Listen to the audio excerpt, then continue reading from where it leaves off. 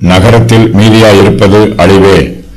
வெறுமையாய் போன நகரம் தகர்ந்து ஒருவரும் உள்ளே பிரவேசிக்க கூடாதபடி வீடுகள் எல்லாம் அடைபட்டு கிடக்கும். திராட்ச ரசத்துக்காக வீதிகளிலே கூக்குரல் உண்டு. எல்லா சந்தோஷமும் மங்கி தேசத்தின் மகிழ்ச்சி அற்றுப்போம்.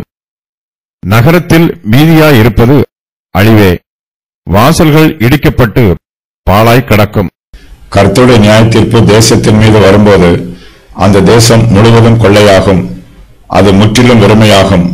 நகரங்களும் வெறுமையாகும். வெறுமையாய் போன நகரம் தகர்ந்து போகும். அதற்குள்ளே ஒருவராலும் பிரவேசிக்க முடியாது. நகரத்தில் உள்ள வீடுகள் எல்லாம் அடைபட்டு கிடக்கும். நகரத்தில் சமாதானமும் சந்தோஷமும் இருக்காது. அங்கு குழப்பமே அதிகமாயிருக்கும். நகரத்திற்குள் பாதுகாப்பு இருக்காது. இவர்கள் மீது யுத்தம் பண்ண வருகிற தேசத்தார் நகரத்திற்குள் எளிதாக பிரவேசிப்பார்கள். நகரத்தை எதிர்ப்பார் இன்றி கொள்ளையிடுவார்கள் நகரத்தில் உள்ள வீடுகள் எல்லாம் அடைபட்டு கிடக்கும். ஒருவேளை நகரத்தில் கொள்ளை நோய் வந்திருக்கலாம்.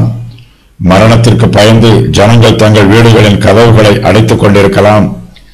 தேசத்தார் எல்லோருமே தண்டிக்கப்படுகிறார்கள். அவர்கள் அக்னியினால் தகிக்கப்படுகிறார்கள். சிலர் மாத்திரம் மீந்திருக்கிறார்கள்.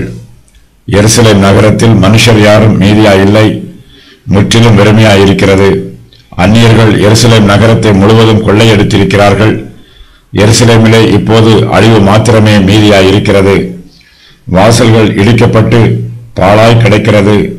கர்த்தருடைய நியாயத்தீர்ப்பு எருசலேமின் மீது வந்திருப்பதினால் நகரத்தில் உள்ள எல்லா சந்தோஷமும் மங்கி போயிற்று.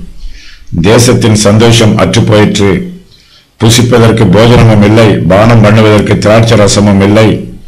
எருசலேம் நகரத்தில் சிலர் மாத்திரம் அழிந்து போகாமல் மீதியாய் இருக்கிறார்கள். அவர்களுக்கு கூட திராட்சை ரசம் கிடைக்கவில்லை. அவர்கள் வீதிகளிலே திராட்சை ரசத்திற்காக கூக்குரல் இடுகிறார்கள். நகரத்தின் வாசல்கள் இடிக்கப்பட்டு பாழாய் கிடப்பதினால் அதன் வழியாக யாராலும் உட்பிரவேசிக்கவும் முடியவில்லை. நகரத்தில் இருந்து வெளியேயும் போக முடியவில்லை.